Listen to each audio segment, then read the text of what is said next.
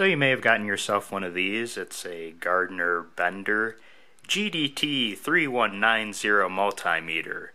And it says needs a 9 volt battery, which makes sense for its digital setup. But you're looking at it and you're going, where do I put the 9 volt battery in? Uh, you open this up, and this is really just to hold it up nicely if you wanted to. So if you're confused, what's going on is this is a nice, uh, very durable uh, plastic covering, and I'll show you how to remove that and then ultimately get into putting in your 9 volt battery. So start by this portion is something that can easily come off as you can see the plasticky parts showing up. So remove that. And then you're going to want to go ahead and get butter knife. So as you can see it's on there nice and tight. You want to take a butter knife, slide it through.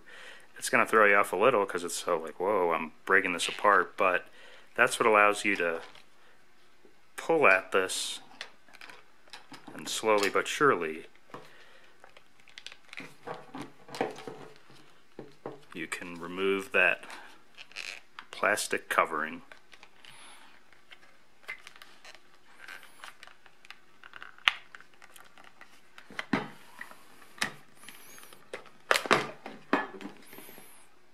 So the plastic covering's off, and guess what? We're not done. As you can see, two very small little Phillips screwdrivers, so time to get out those mini screwdrivers to remove them to get to the 9 volt battery area. Alright, so just using our little mini screwdriver to get that out. I'm using uh, zero zero that uh, Phillips. There you go. And as we remove it, you can see there's the part where the 9 volt needs to go in.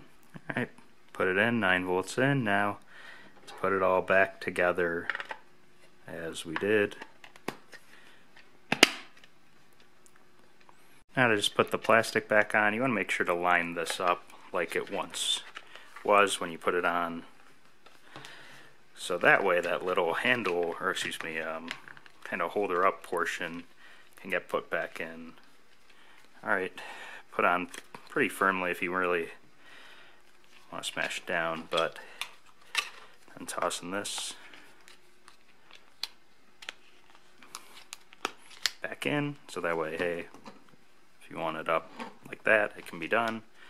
That's in nice and firm with your plastic, and now let's say we were to turn it on, I don't have anything plugged in, but you can see the battery's working to turn things on if needed. I'm sorry. But yeah, it's off here, turned on to something, and then when you actually plug in, uh, should be working just fine. But the battery's in, all well and good. Uh, any further questions on putting in a battery? Uh, this Gardner Bender makes it a little more complex and provides no instructions, so uh, hopefully this video was a help for you if you found yourself uh, getting a new one and the situation arose.